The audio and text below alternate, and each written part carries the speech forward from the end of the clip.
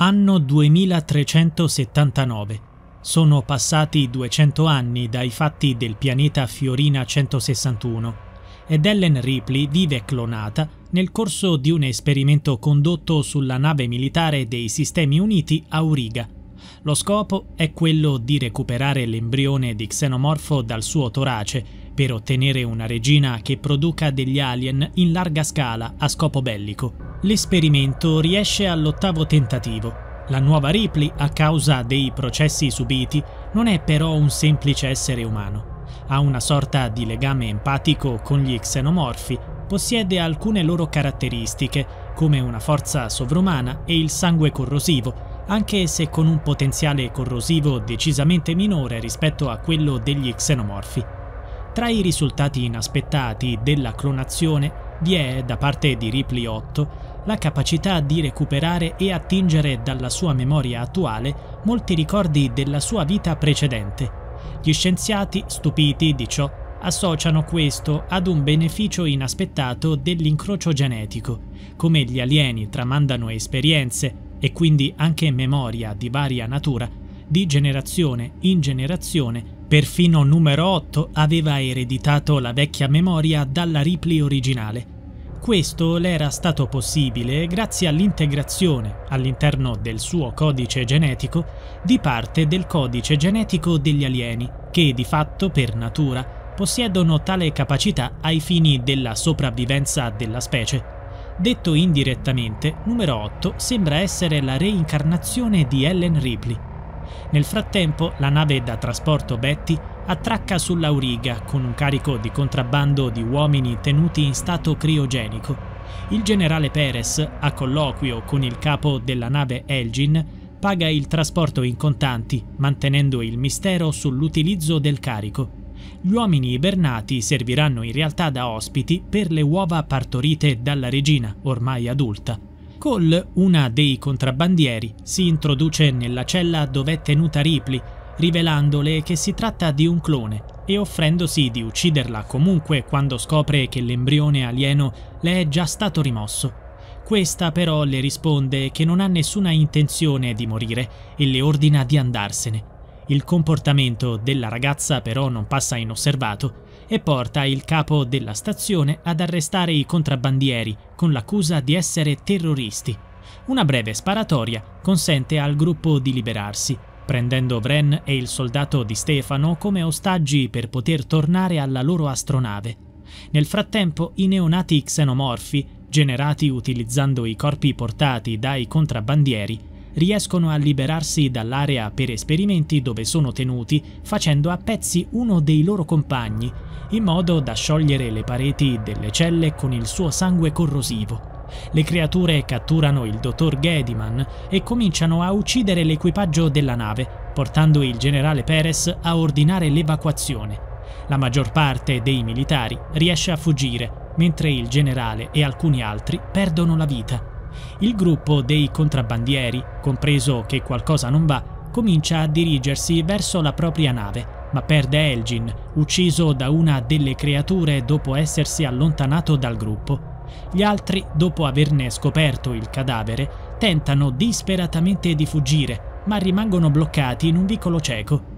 A salvarli interviene Ripley che, dopo essersi liberata dalla cella dove si trovava rinchiusa, attira ed elimina l'alieno che li inseguiva. Nonostante le proteste di Cole, il gruppo permette a Ripley di seguirli. Successivamente il gruppo trova un uomo in stato confusionale, Purvis, si scopre che è una delle cavie dell'esperimento e che porta in sé un embrione alieno. I fuggitivi, convinti da Cole, decidono comunque di portarlo con loro e ibernarlo nella Betty per poi rimuovere l'alieno. Nel corso della fuga Ripley rinviene una stanza con la dicitura 17 e, poiché sul suo braccio è tatuato il numero 8, si incuriosisce e decide di entrare. Trova così i mostruosi esperimenti di clonazione precedenti a lei, orrendi ibridi tra umani e xenomorfi, tra cui l'ultimo in fin di vita che la prega di ucciderla. Cole le passa un lanciafiamme e Ripley pone fine alle sofferenze della sventurata creatura, per poi radere al suolo il laboratorio distruggendo i resti degli altri cloni. Durante l'attraversamento subacqueo della mensa, completamente allagata, Hillard viene catturata da uno xenomorfo, mentre gli altri si trovano bloccati da un gruppo di uova in procinto di schiudersi. Christie riesce a colpirle con alcuni proiettili esplosivi, permettendo al gruppo di uscire dall'acqua.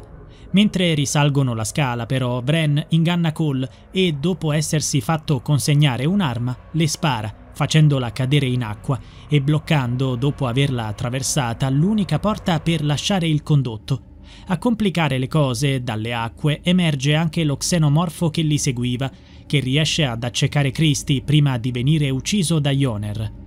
Christie, resosi conto di non essere in grado di continuare, si lascia poi a sua volta cadere in acqua, sacrificandosi per salvare gli altri. Improvvisamente la porta si apre, rivelando Cole. Ripley capisce rapidamente come faccia essere ancora viva. Si tratta di un androide, a conoscenza degli esperimenti del generale e intenzionata a fermarli prima che possano mettere in pericolo l'intera razza umana. Sfruttando le sue capacità, Cole libera la strada per la Betty, blocca Bren scatenandogli contro un gruppo di xenomorfi e ordina al computer centrale di far schiantare l'auriga invece di atterrare. Poco prima di raggiungere la navicella, però, Ripley subisce l'influenza di una sorta di istinto primordiale, chinandosi incautamente su una griglia che cede, facendola precipitare nel nido degli xenomorfi. Sulla Betty ricompare Bren, ancora intenzionato a consegnare lo xenomorfo ai suoi superiori. Verrà ucciso da Purvis nel suo ultimo gesto prima che l'embrione nascente lo uccida a sua volta. I pochi superstiti eliminano quindi l'alieno neonato. Ripley intanto si risveglia nella stanza della regina. Il dottor Gediman, intrappolato in un bozzolo, spiega che la regina alien ha subito delle mutazioni e per la prima volta, oltre a depositare uova, sta partorendo. La creatura, un mostruoso ibrido umano-alien, appena nata, uccide la regina, riconoscendo in Ripley la propria vera madre. Quest'ultima, approfittando della distrazione della creatura, impegnata a uccidere il dottore, fugge verso la Betty, raggiungendola appena in tempo. La navicella però ha difficoltà a partire perché il portello non si chiude bene. Cole scopre la presenza a bordo dell'ibrido ed è costretta ad assistere impotente all'uccisione di Di Stefano, sopraggiunto per aiutarla. Ripley, percependo che qualcosa non va, salva l'androide e, sfruttando il proprio sangue corrosivo, causa un foro nella navicella, dalla quale l'ibrido viene brutalmente risucchiato e disperso nello spazio, la navicella raggiunge finalmente l'atmosfera terrestre e infine la Ripley guarda la Terra insieme a Cole, entrambe incerte ma fiduciose sul loro futuro. Se questo video ti è piaciuto, iscriviti al canale per restare sempre aggiornato sui nuovi contenuti.